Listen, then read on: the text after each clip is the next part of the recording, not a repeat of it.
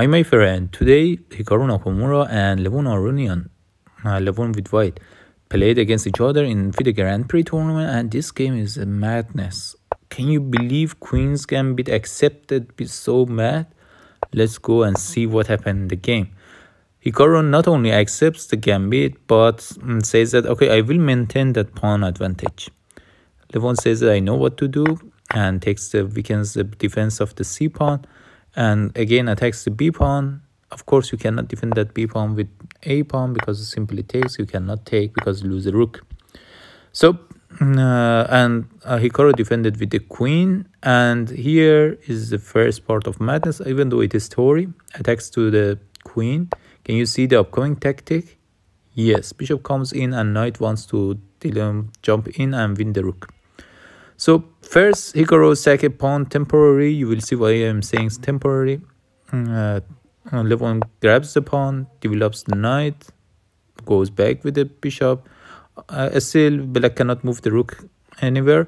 So finally gives a check and win that rook. And here is why I said temporary pawn sack. That pawn push to uh, e5 enabled Hikaru to develop bishop later and instead he knew that finally he will win the e pawn of um, white so it's not a problem to give that e pawn of black.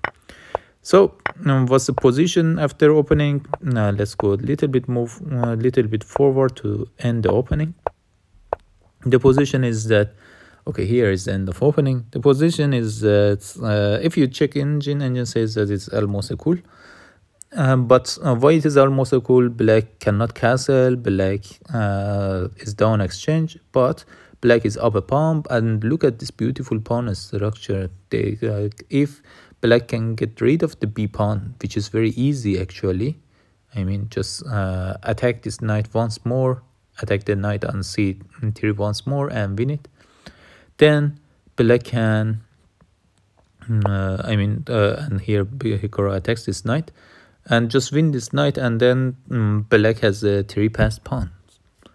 Um, and Levon goes away um, a knight attacks the queen Levon goes away and Hikaru instead of grabbing that knight plays bishop f5 this was a, a strange move. No, he could simply I mean at this position for example he could simply grab that knight and that was it's I don't know not grabbing with the bishop with the knight with whatever you want is a good move for mm, black and look at the black structure black has three passed pawns. What is the downside of black? Uh, the king of black is vulnerable. If white couldn't mate black then black is the only one who can win. So but what happened in the game is that um, uh, the, mm, the Hikaru played bishop f5 and white give a check. And here Levon played like engine and attacks the knight and finally black uh, here uh, the situation is not as before because then black for example cannot capture this because uh, loses that and loses more. So uh, at this position what happened is that um, Hikaru was forced to grab the knight with the bishop and now the pawn structure is not that promising. It's only white that is better in this position. White is down pawn, but uh, uh, it's not uh, in a big trouble. Also, a pawn is very weak. A pawn of black is very weak because can be attacked very soon, and we will see. And here is a madness. See the and the piece of uh, white is hanging, um, but white attacks the piece of black. Black says, "Okay, you attack me. I defend it with a queen, and I keep my queen pinning." I I don't get why Hikaru did that. Was he in time trouble? I mean, he had uh, this is moved just to move 23 i don't know. He puts his queen in a pin and queen couldn't move knight couldn't move and bishop couldn't move.